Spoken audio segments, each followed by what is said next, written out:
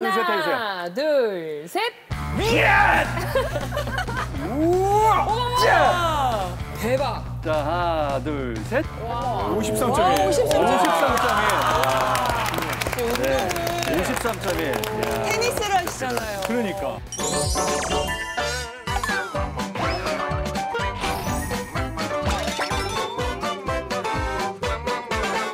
자, 악력 꼴찌를 한 우리 최기현 아나운서와 김영숙 주부님. 이 두 분에게 필요한 것은 뭐라고요? 바로 근육. 근육. 네. 그래서 고종하 선생님께서 네, 팔뚝살 꽉 잡아주는 근육 단련시켜주는 운동을 준비를 해오셨죠? 네, 준비했습니다.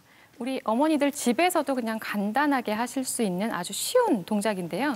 자, 제가 여기 페트병 작은 거를 물병을 갖고 있는데요. 양손을 자, 벌려요? 바닥과 평행이 되게 벌려주시고요. 자, 손바닥을 위, 아래, 위, 아래. 아래. 아주 편하죠. 이렇게 뒤집어주기만 하면 돼요. 아래. 위, 아래.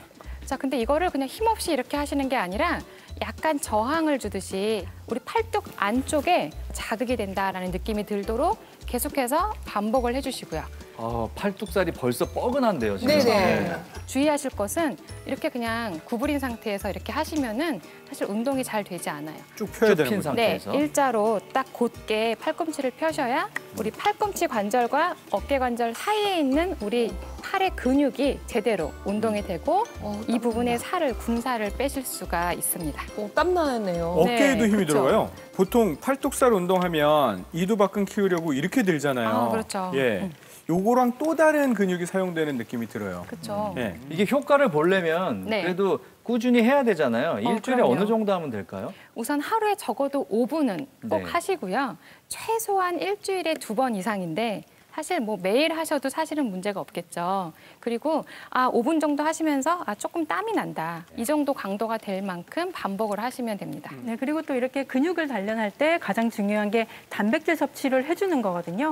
근데 우리나라 그 60세 이상의 노인들 두 명 중에 한 명 이상은 하루에 필요한 단백질이 좀 부족한 상황이라고 할 수 있습니다. 그렇기 때문에 단백질을 충분히 섭취를 하시면서 이렇게 꾸준히 운동을 하시면 더욱 좋을 것 같습니다. 네.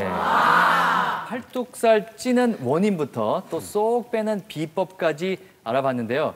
제가 어, 팔뚝으로 이행시를 준비했는데 팔뚝. 그 유행이에요, 이행시가. 네. 자, 오늘 좀 띄워주시죠.